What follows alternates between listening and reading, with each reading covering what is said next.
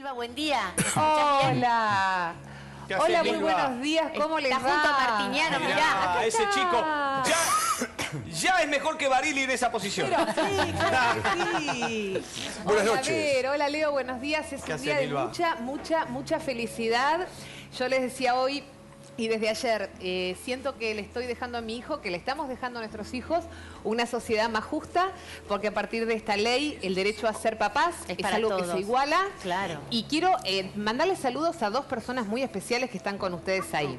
Primero, el doctor Sergio Pascualini, que es el creador de. Martiniano.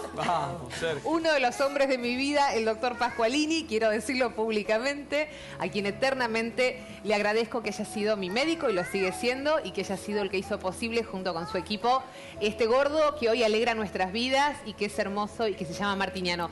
Y a Isabel Rolando de Concebir, que es, te diría, la pionera en la lucha de la ley de fertilización en la Argentina.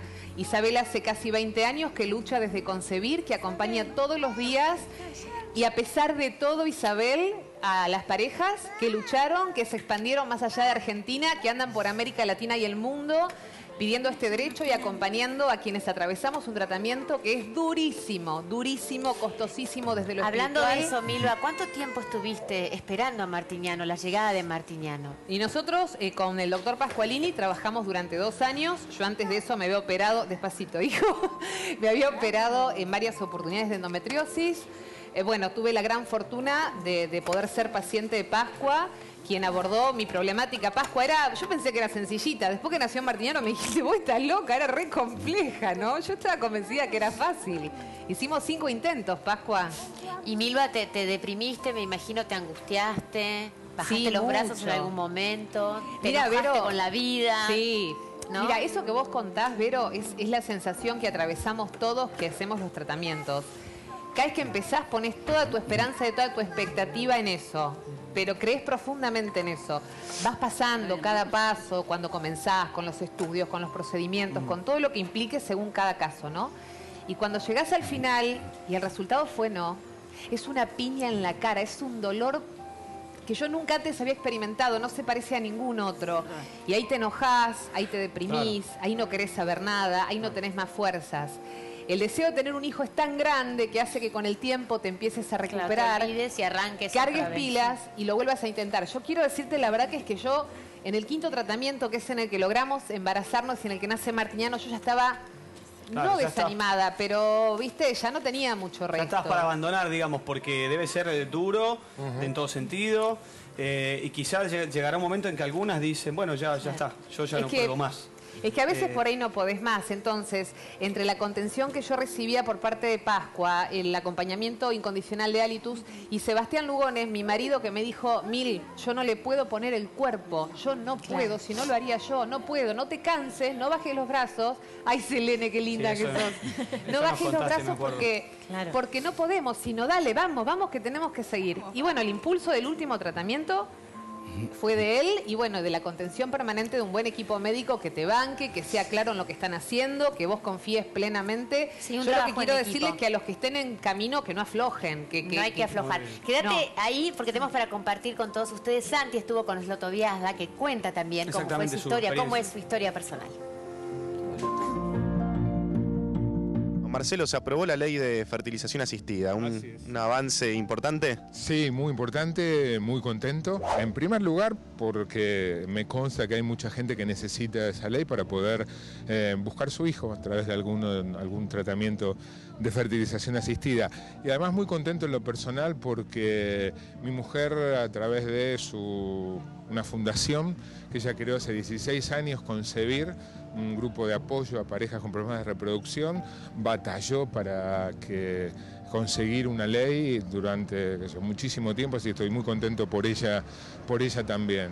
De todas maneras es un primer paso, una ley eh, es como una base, pero eh, se necesitan varios pasos más, establecer, eh, por ejemplo, el derecho a la identidad de los chicos nacidos por fertilización asistida para que puedan saber en caso de eh, haber nacido con donación quién ha sido quién es el donante. Nuestras dos hijas nacieron por fertilización asistida. Sin la ciencia, sin la fertilización asistida, yo no sería padre o tal vez sería padre seguramente de un chico adoptado. Testimonio, ¿no? Este, un testimonio muy sí. valiente que también la hija lleva la bandera de esto, este, contando su historia personal, que ya es Y que- y de, que- y que fue de la donación de un- del óvulo de una muy amiga de su mamá. Sí, Y que tenía Claro. que ver también con la tira que se Claro. pasó en Telefe, no me acuerdo el nombre ahora. eh, pero que tuvo, digamos, Sí. como su momento de realidad ficción también en la El tele. donante. El donante. Ah, el donante, Sí, justamente. razón, Eh, la Ahora, perdón, pero Sí. el camino de los proyectos de ley que iban, llegaban, que pasaban los años, no se trataban, era tanto como buscar un chico, ¿no? Porque Fue la así, posibilidad fue igual. era el mismo camino, el mismo drama, que, ¿no? que pas- pasó mucho con otros países, pasa mucho con otros países. Es decir, el nuestro con el matrimonio igualitario, con todo lo que pasó, se fue dando una serie de cosas. El proyecto de la reforma del fue, Código digamos, Civil, la culminación motor, de esto, ¿no? o sea, Fue impulsando la aprobación. es- Ignacio, es como algo y especial. Si hablamos de tratamiento, eh, no son muchas las parejas este, que podían af- af- afrontar y enfrentar el, el gasto, ¿no? Sí, yo creo que esto, mira, hubo un puntapié importante que fue la ley provincial, que salió hace dos años. La provincia. fue que un poco también presión en esta... Espera que hay problemas con tu micrófono. Ahí te van a dar uno de mano. Dale, Métete, dale, métete. métele, Dale, métele.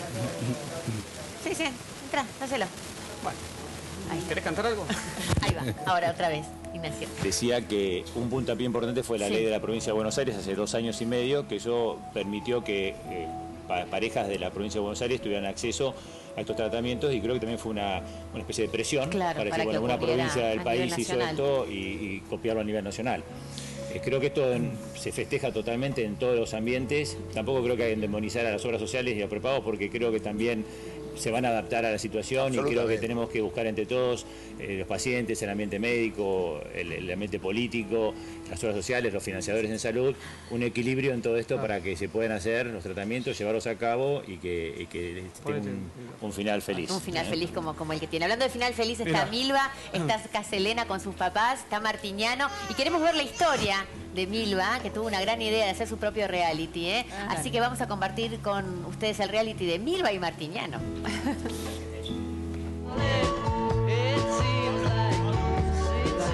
Tengo 37 años. Estoy muy nerviosa porque hoy es 19 de diciembre de 2011 y con Sebastián estamos esperando los dos conocer el resultado de nuestro segundo in vitro que llegó hasta el final. Hicimos cinco. Sabía que tenía endometriosis. Muchísimas mujeres que la, que la padecen, es muy normal. Hay distintos niveles, hay niveles muy bajitos y hay otros como el mío que era muy severo. Por suerte vos tuviste la oportunidad de poder ir a un centro, ¿no? Sí. Muchas mujeres no tienen la oportunidad Sí. de poder tener No. un tratamiento pago. No, no. A mí me pone muy feliz pensar eh, que Martiniano, mi hijo, van a ser en un país este, donde exista la ley de fertilización. Me emociona mucho porque cuesta mucho. Estás con progesterona. Dos veces por día consumís esto. Tomo estradiol a la noche. Tomé socor muchos meses. Tomo una aspirineta todas las noches para licuar la sangre. Y a esto le sumamos leparina que me pincho en la panza. No hay manera que no se te salga la cadena, que no te alteres en algún momento, que no pierdas la paciencia. Hola, Doc, soy Milva, ¿cómo estás? ¿cómo andas?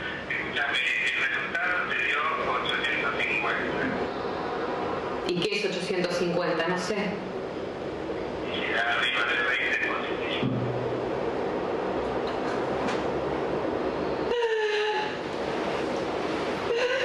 ¿De verdad me decís? Martiniano y yo, sí, somos... Es la conexión más fuerte de mi vida. Mucho. Puedes pensarlo. No llegó. Hola, hijo. Ay, no lo puedo creer. Pero es duro el camino, pero vale, ¿eh? Vale. Si te dan chances, si te dicen que vale la pena, pelealo, no, no, no, no, no aflojes, ¿me entendés? Hay muchos casos increíbles donde los dos tienen problemas y resulta.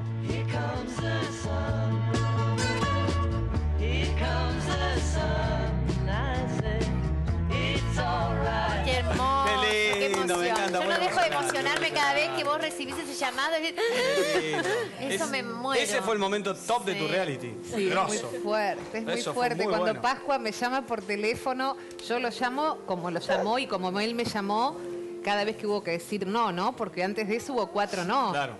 Hubo cuatro veces que no, que no resultó y bueno, había que recuperarse. Dejar que el dolor duela, como le digo yo a las, a las parejas que están hoy en tratamiento y que me escriben permanentemente a la página y que trato de, bueno, de ayudarlas con un poquito de aliento. Y esa vez fue sí y realmente no lo, no lo podíamos creer. Lo mantuvimos en secreto, Vero, Leo, tres meses, ¿no? Ese momento de, de que me entero es increíble. Y Pero el momento escuchame, Eva, de ese nacimiento- momento, ese momento es secreto. Tu marido te estaba filmando, ¿verdad? Sebas está del otro lado. Sebas pará, siempre él, está. ya él ya sabía lo del No, no, doctor no o, el, o el sabía. ya- o el, digamos, el llamado lo hicieron entre los dos sin saber nada. No, no, no. Nosotros, Ah. Sebastián, como un buen realizador y hombre de la televisión, me dice en el último tratamiento. ¿Me escuchan ustedes? Sí, perfecto. Vos déjala a la- Martiñano que va a ser Lo que no sonidista. tenés es el oído, no lo tenés vos, pero no, No, te ni, el, ni el aro. Eh, Sebas me dice, vamos a empezar a registrar, Milva. ¿Qué? Le dije yo, el último tratamiento. Sí, me dice, vamos a empezar a registrar todo lo que podamos, porque esto algún día va a ayudar a alguien. Me parece que vos, así como vos necesitas o nosotros necesitamos gente que nos cuente de esto, esto va a servir para alguien. Yo no quería registrar nada porque estaba muy anímicamente muy golpeada. Yo llego a mi casa, esa es mi casa, mi cocina. Y yo no quería registrar nada. Habíamos llamado a Pascualini el día anterior y le dije, mira, Pascua Sebas quiere grabar, no sé qué, así que te voy a llamar y vamos a estar grabando. Y bueno, fue muy acertado. Sebas está del bien. otro lado de la cámara, está grabando. Él cortó el video, él se levanta, me abraza y se vuelve a sentar, ¿eh? Ah. No se mantuvo. Él no tal. quiere aparecer, Tiene corazón, no quiere aparecer. tiene corazón. Tiene Te cuento algo más. Los realizadores tienen No corazón. no aparece. No aparece, está bien. En el Los caso- videos, sí. tiró el chupete. De Espera, espera, ¿cómo- espera. Selene, Espera un ¿cómo- poquito, a ver, para que te quiero ¿Después contar de algo. Sí, los decime. videos, Vero, los videos que ves en el nacimiento Sí. son de Sebastián también. Él está grabando ahí. Y las fotos que ves en el nacimiento son Sí. de Pascua, porque mi obstetra es su hijo, es Agustín Pascualini, a quien adoro con toda mi alma y que cuidó mi hijo y mi embarazo hasta el final. Mientras Agustín Pascualini asistía a mi parto, Pascua estaba ahí controlando todo y sacó las fotos más lindas de mi vida. Así Mirá. que imagínate la cantidad de cosas lindas y de imágenes que se generaron para este reality, ¿no? Así que eso, nada, te llena Quédate el que te presentamos, está Jorge y Julieta, que son los, Los- papás de Selene, que pero hoy los- cumple 11 meses. Los conozco, Bueno, los, por eso, por eso los quiero con el alma. Este, Selene es casi como martiniano. Este, este matrimonio es un ejemplo, Leo, Vero, de la lucha, de la constancia, del esfuerzo, de la espera de 10 años. Hoy son una familia feliz, hoy la tienen a Selene. Y además, como muchos que pasamos por esto y que entendemos que el dolor y que un esfuerzo tan grande te tiene que servir para con la vida, ellos siguen comprometidos hoy por hoy la en la causa. causa, dando charlas, acompañando a mujeres y hombres que están en lo mismo, dando talleres y comprometidos con la ley. Lo que hacemos los que creemos que vale la pena este camino y el derecho para todos, ¿no?